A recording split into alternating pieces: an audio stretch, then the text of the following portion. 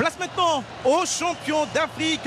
Tous les héros, les éléphants, pour la troisième fois de leur histoire, sacrés euh, champions d'Afrique. Ils sont tous là dans ce, groupe avec de la jeunesse aussi, à l'image d'un jeune Karim Konaté par exemple. Emers Faé euh, emmène toute cette euh, petite troupe l'incroyable histoire. Lui qui ne voulait pas parler euh, d'avenir, ben maintenant il va falloir en parler quand même. Parce qu'il est champion d'Afrique euh, au bout de, de 4 matchs euh, dans cette équipe. Karim Konaté qui prend sa, médaille. Mais, voilà, l'avenir d'Emers Faé qui bah, devrait normalement être conduit, on va dire, pour être le, sélectionneur en titre, non plus le sélectionneur intérimaire des champions d'Afrique. Oui, mais Claude l'a dit, parler d'avenir c'est bien, profiter du présent c'est mieux parce que les succès sont, sont furtifs et euh, souvent euh, il y a des périodes plus compliquées qui arrivent. donc euh, évidemment qu'ils vont s'asseoir et se poser un petit peu, faire le, bilan, même si il n'y aura pas grand chose de négatif à retenir. Il n'y a que du positif et surtout en termes de prestations, c'est pas une victoire hold-up.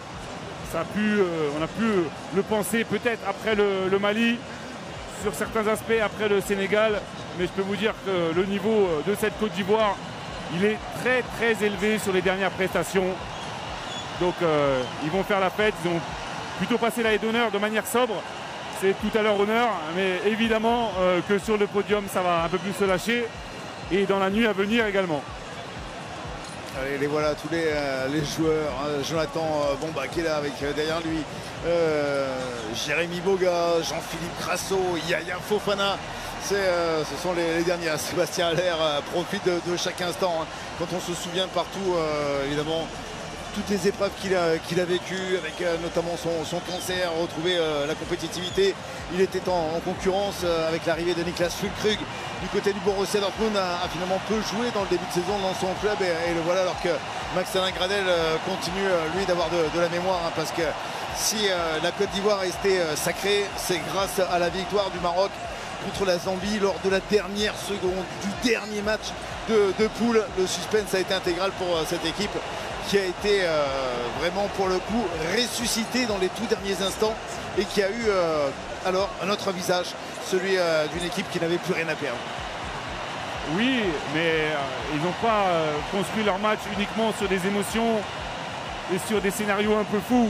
Ils ont joué en patron avec une ligne directrice tactique et j'ai envie de dire que même le staff ne s'est pas laissé déborder. C'était un petit peu l'enjeu, c'était un petit peu le défi, surtout en étant mené 1-0 à, la mi-temps contre le cours du jeu.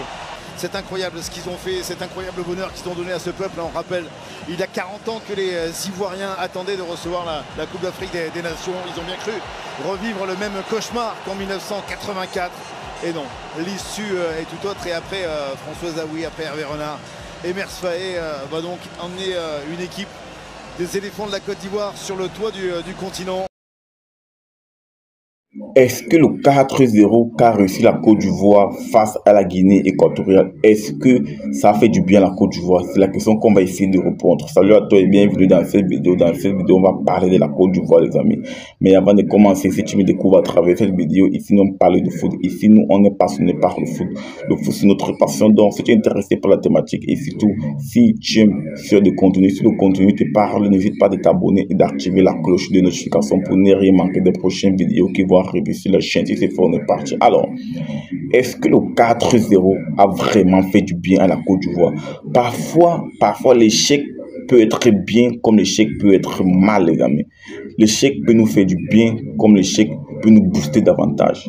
Parce que lorsque la Côte d'Ivoire a pris ce 4-0, tout le monde savait que la Côte d'Ivoire est déjà morte la Côte d'Ivoire est éliminée. Mais sauf que, sauf que lorsque le Maroc, lorsque le Maroc bat la Zambie 1 but à 0, notamment un but d'Akimi, lorsque le Maroc gagne la Zambie 1-0, ça relance la Côte d'Ivoire dans la compétition. La Côte d'Ivoire s'est qualifiée en tant que meilleur troisième.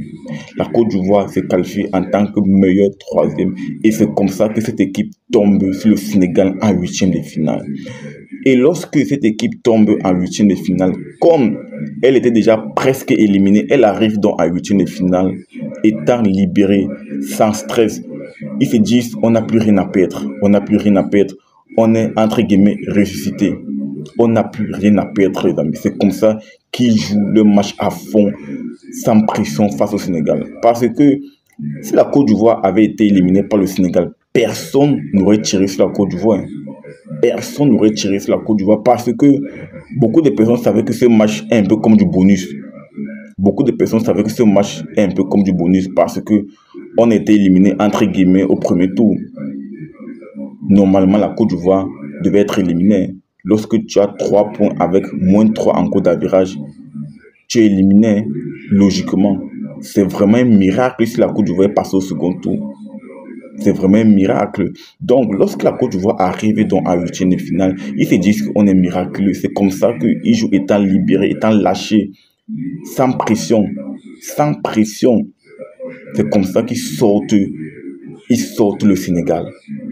Je ne suis pas sûr que si la Côte d'Ivoire avait fini peut-être premier de la poule, ou bien si la Côte d'Ivoire arrivait euh, étant invaincue face au Sénégal, à mon avis, la Côte d'Ivoire devait avoir plus de pression.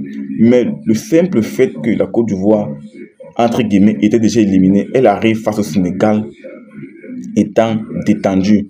C'est pour ça qu'il dit que l'échec peut être une bonne chose et en même temps, ça peut également te booster. Ce 4-0, je suis presque persuadé que ça a boosté la Côte d'Ivoire. Ça a boosté cette équipe de Côte d'Ivoire. Parce qu'elle s'est dit, on est déjà mort, on n'a plus rien à perdre, etc. On n'a plus rien à perdre, etc. Donc les amis, donc les amis, dans la vie, parfois, parfois les choses mauvaises peuvent nous booster. Les choses mauvaises peuvent nous faire devenir une version meilleure. Et je pense que c'est aussi une vraie leçon de vie, ça.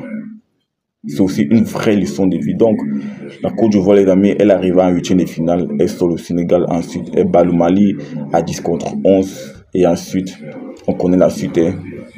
On connaît la suite. Elle sort la R de Congo avec la manière, avec beaucoup de certitude.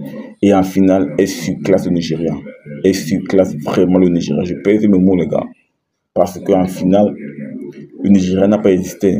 Le Nigeria n'a pas existé. Je pense que c'est un fait cadré. Et c'est le but. Et c'est le but de leur capitaine là. Le capitaine nigérian. Un fait cadré. Et c'est le but que le Nigeria marque. Donc, je pense que dans le jeu, dans le jeu, la Côte d'Ivoire a vraiment su classer le Nigeria. Ils ont vraiment su classer. La Côte d'Ivoire est montée en puissance au second tour de cette canne. Match après match, match après match, cette équipe est montée en puissance. Ils sont vraiment montés en puissance. Lorsque tu regardes cette équipe de Côte d'Ivoire, lorsque tu regardes l'équipe de Côte d'Ivoire euh, des phases de poule et celle à élimination directe, il n'y a pas photo. En termes de mindset, d'état d'esprit, il n'y a pas photo d'engagement. Il n'y a pas photo. Cette équipe de Côte d'Ivoire euh, des maîtres faillis avait beaucoup plus d'envie. Ils avaient beaucoup plus d'envie et ils jouaient étant libérés. Donc, euh, les amis, moi je pense que, moi je pense que ce 4-0 a vraiment fait du bien à la Côte d'Ivoire. Partage-moi ton ressenti en commentaire. Est-ce que tu penses que ce 4 buts à 0 que la Guinée équatoriale a infligé à la Côte d'Ivoire leur a fait du bien? Dis-moi tout. Et si ce n'est pas encore fait, n'hésite pas à t'abonner, d'activer la cloche de notification pour ne rien manquer des prochaines vidéos. Si on se dit à très bientôt pour notre vidéo, les amis. Ciao, ciao.